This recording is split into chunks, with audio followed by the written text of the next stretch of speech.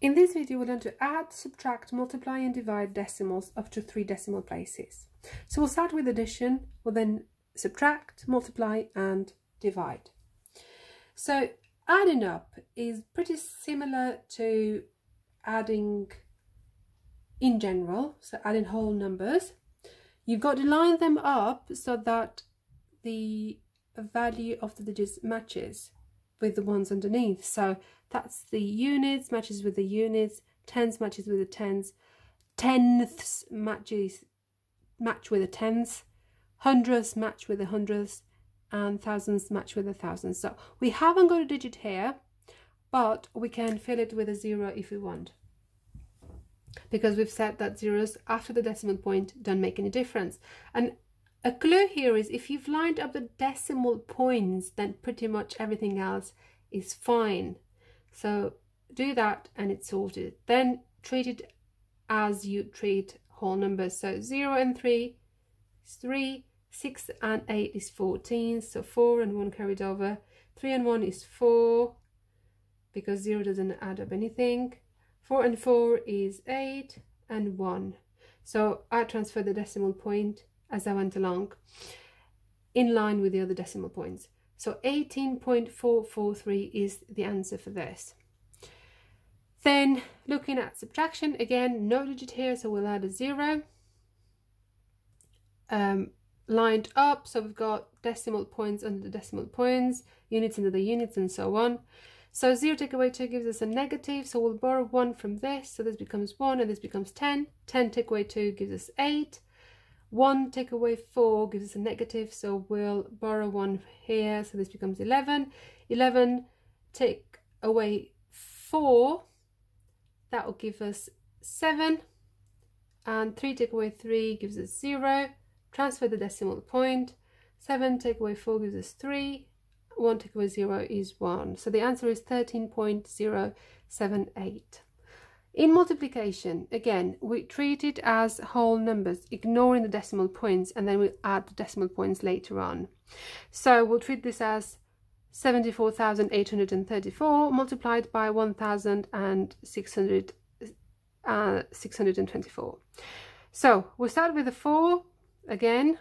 So 4 times 4 is 16, so 6 down and 1 carried over. 4 times 3 is 12 and the 1 is 13. So 1 carried over, 4 times 8 is 32 and the 1 is 33. So 3 carried over this time. 4 times 4 is 16 and 3 is 19. So 9 and 1 carried over. 4 times 7 is 28 and the 1 is 29. So we finished with the 4, we move to the 2. So again, that if it was whole numbers, that would mean 20. So I'll put a 0 down and then treat it as 2. 2 times 4 is 8, 2 times 3 is 6, 2 times 8 is 16, so 6 and 1 carried over. 2 times 4 is 8 and the 1 is 9, 2 times 7 is 14. So finish with the 2, move to the 6, so we put now two decimal, two zeros, because there are two digits after the 6. So we got 6 times 4 is 24, so 4 down and 2 carried over. 6 times 3 is 18 and the 2 is 20. 6 times 8 is 48 and the 2 is 50. 6 times 4 is 24 and the 5 is 29. 6 times 7 is 42 and the 2 is 44. So we're finished with the 6 as well. So we've got one, two, three places there now. So 1, 2, 3 and carry on with the 1. 1 times 4, 3, 8, 4, 7 because when you multiply by 1 the numbers don't change. We add these up so we've got 6 here, we've got 11, so 1 carried over, 10, 13, 14, 10, 19, and the 1, 20, so it's 2. Now add these, there's mixed 20, 23, so 2 carried over. So 8 and 2 is 10, 19, 21, 25.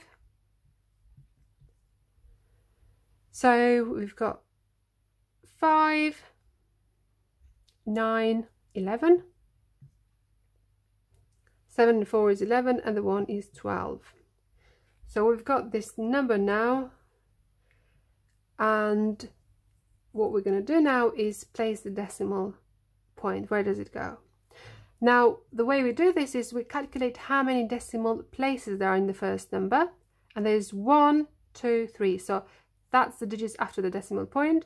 So we've got three here, and we've got one, two, three, three here as well. So three and three make six. So I need to give this answer six decimal places. So I got one, two, three, four, five, six. So the decimal point needs to go here. So the answer is 121.530416. Now we'll look at division. So we're dividing 8.662 by 1.42. So in order to turn this into whole numbers so that we can easily work with them, we would write this as 8662 so point over 1.42 because that's how we've got them. I'm just writing them as a fraction. So need to get rid of these. So if I multiply them both by 10, I would then have 86.62 over 14.2.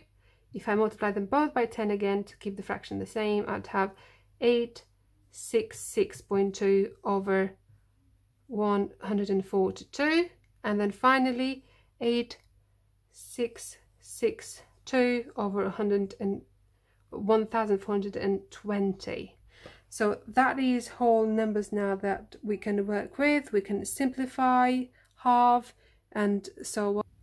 I would have preferred to have stopped here and plug it in there so the decimal point would go after this second six and it would have 142 so how many 142s fit into 866 and it is six of them. So 6 times 142 which you can do quickly that is 852 so we've got 13 left. So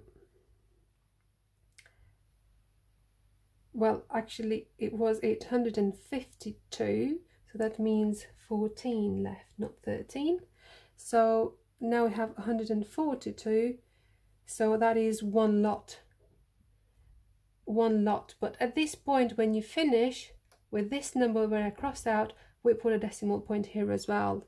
So 866 we fit it six lots of 142 put a decimal point wherever that is and then put in the next digit which was 1 so that gave us 6.1